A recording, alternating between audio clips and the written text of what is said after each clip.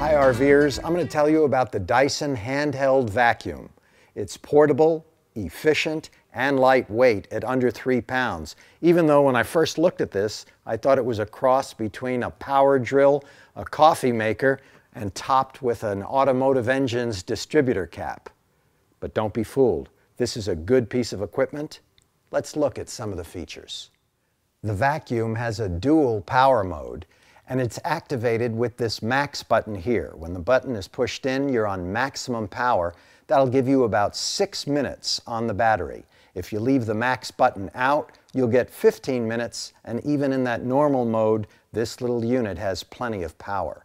There's a light on top of the assembly here that goes on to let you know that there's only one minute of power remaining.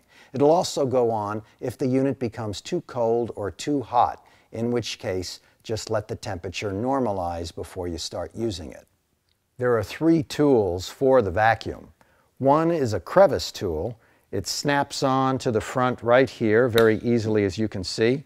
Comes off by just pressing that button. The other is a two-in-one tool.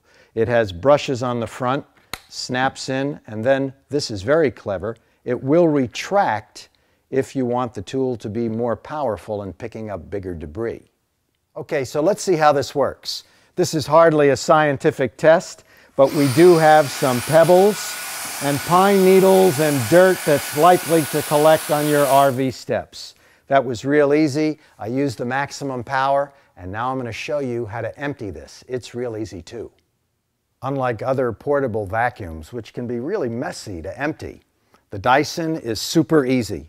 You press this red button, the bottom will fall out and all the dirt goes right down into the wastebasket.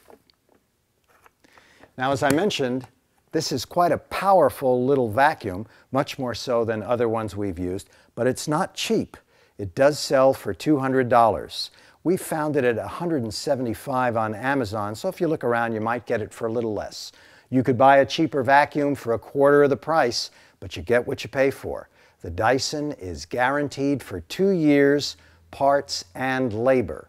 And we think of all the portable vacuums we've looked at on the market, especially for RVers, this is the best one to be had.